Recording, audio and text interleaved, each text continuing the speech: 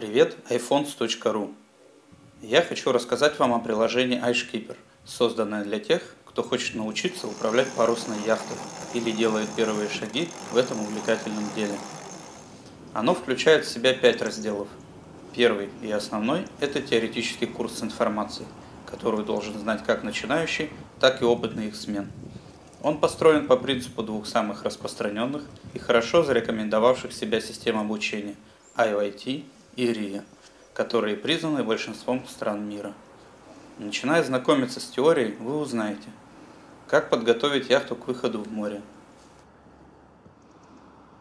что такое безопасность на судне, принципы швартовки,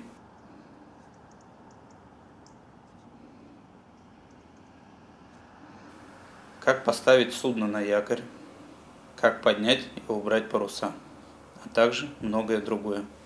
Каждый пункт теории содержит немного текста и картинок, благодаря чему вы не будете скучать и уставать во время чтения.